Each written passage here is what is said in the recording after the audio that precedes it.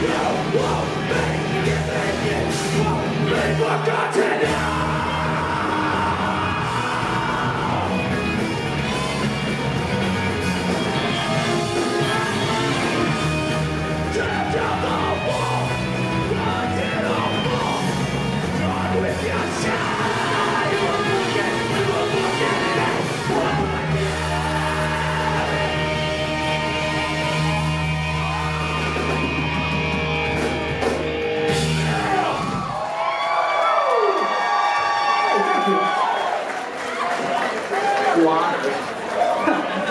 Not punk rock. Give me a fucking beer. Beer still? No. Staying hydrated is the most What a loser. You can't fight the oppressive systems if you're dehydrated. That's true. Self-care is incredibly important. It's hard to fight for yourself. Yeah, take care of each other. If somebody falls down, pick them up. Knock them back down, pick them up again. You're never gonna keep it down. We got a couple more for you guys. We want to thank you guys so much for coming early.